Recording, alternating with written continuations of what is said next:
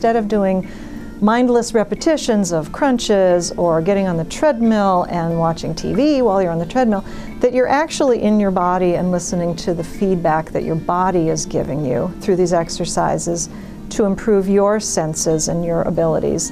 And so that you can also sense the horse and sense what's going on with that.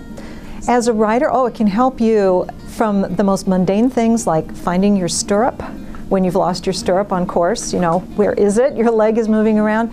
You know where it is because you know what muscles to fire. Um, it can help you, as I said before, if you see, if you're coming, coming up to a jump and you see an extra stride in there and your horse does not, and he takes off without you, you can recover more quickly.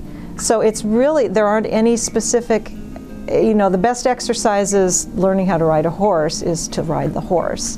But these exercises off the horse can actually hone your sensory skills so that you're better able, you know, to fix those bobbles. If there's a spook or a buck, how do you get back? How do you get back?